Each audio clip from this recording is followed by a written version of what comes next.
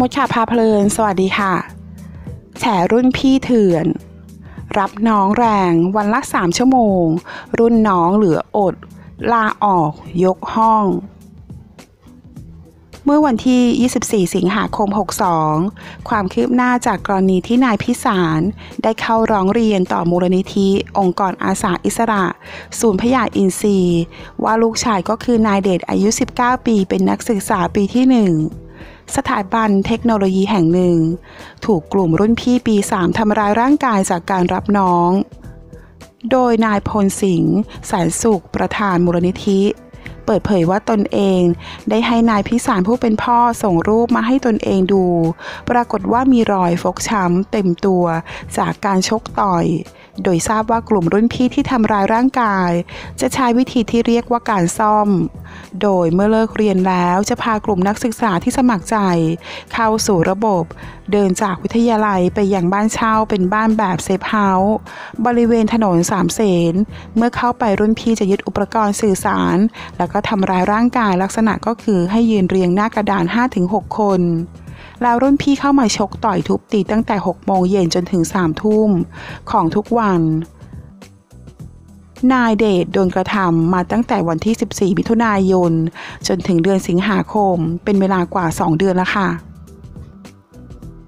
โดยรุ่นพี่กำหนดเวลาว่าจะต้องร่วมกิจกรรมเข้าระบบนี้ 1 ภาคการศึกษา หลังจากนายพิสารผู้เป็นพ่อของนายเดชทราบเรื่องก็ทนไม่ได้ค่ะ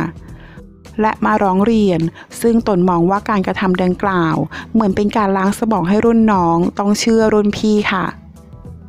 ส่วนสภาพจิตใจของนายเดชนี้ ยังรู้สึกห่อเหี่ยวและเป็นห่วงเพื่อนๆอีก 5 คนที่เหลืออยู่ในระบบ ที่อาจจะถูกทำร้ายรุนแรงและยังไม่พร้อมจะไปแจ้งความ เนื่องจากหวาดกลัว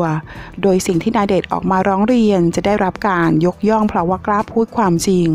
ทำให้สังคมดีขึ้น นายพลสิงห์แสนสุขกล่าว นายพลศินแสนสุดกล่าวต่อว่าสิ่งที่น่ากังวลก็คือปัญหาเด็กที่เข้าร่วมกิจกรรม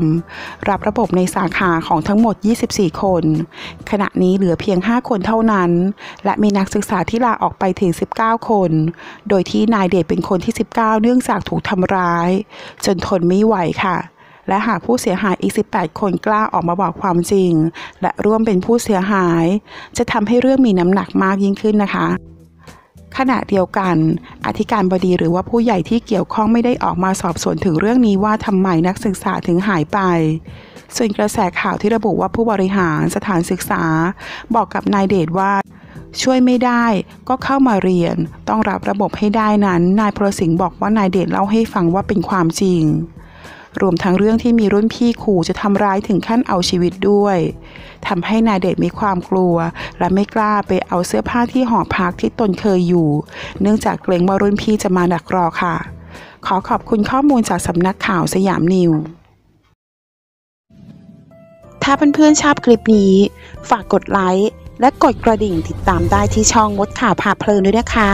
ขอบคุณค่ะ